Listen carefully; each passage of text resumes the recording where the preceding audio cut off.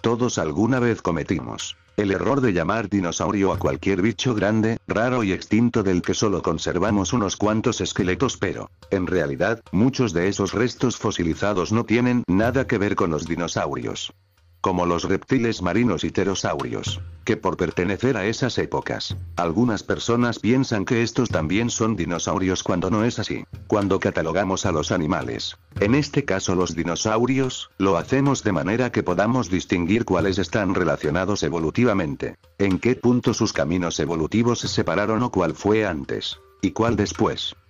Para que dos animales estén emparentados por la evolución no basta con que se parezcan un poco o se comporten de manera similar.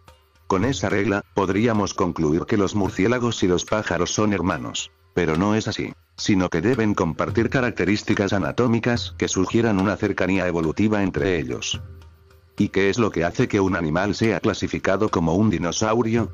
Por un lado, se les llama dinosaurios a un tipo de reptiles que ponían huevos y vivían en tierra firme pero que, además, tenían estas características esqueléticas, no tenemos mucho más que huesos fosilizados, así que es lo único en lo que podemos fijarnos. Eran diápsidos, del griego dos arcos, lo que significa que sus cráneos tienen dos agujeros detrás de sus cavidades orbitarias. ¿Dónde van los ojos? Poseían además, un agujero entre el ojo y las fosas nasales. Esto permitía que sus cabezas crecieran más sin hacerse excesivamente pesadas, además de proporcionar puntos de anclaje para los grandes músculos que tenían que mover sus mandíbulas. Sus extremidades estaban situadas bajo su cuerpo, lo que les daba un buen soporte a las patas para aguantar esos pesadísimos cuerpos. En la imagen solo aparecen unos cuantos dinosaurios carnívoros para que observes que tienen las patas bajo el cuerpo, pero si no puedes apreciar bien tienes más fotos de dinosaurios a continuación.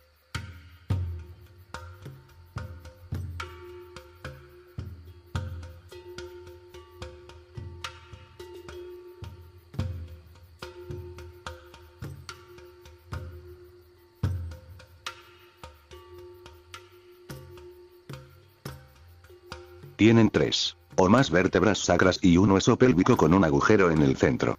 Porque si tienes las patas debajo de tu cuerpo, te va a hacer falta un sitio donde anclarlas.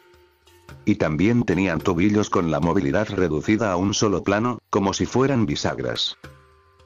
Ahora que ya sabemos que es un dinosaurio, prestémosle atención a un esqueleto fosilizado de Dimetrodon y veamos si cumple estas características. En realidad no es un dinosaurio, pero que eso no nos impida hacernos los sorprendidos de todas maneras. Como se puede ver en su esqueleto, no tiene un agujero entre los ojos y la nariz y es un sinápsido, lo que significa tan solo tiene un agujero detrás de cada ojo, en vez de dos. Además sus patas están a los lados de su cuerpo, no debajo. Las otras características no las sabría explicar correctamente porque no soy paleontólogo, pero como no presenta todas las características necesarias, no puede ser clasificado como un dinosaurio. En definitiva, la prensa y las películas nos han montado un lío sobre qué es y qué no es un dinosaurio durante todos estos años, pero con esta información aún estamos a tiempo de prestar mucha atención a los diálogos de las películas al igual que Jurassic Park localizar los errores al llamar dinosaurio a algún reptil volador.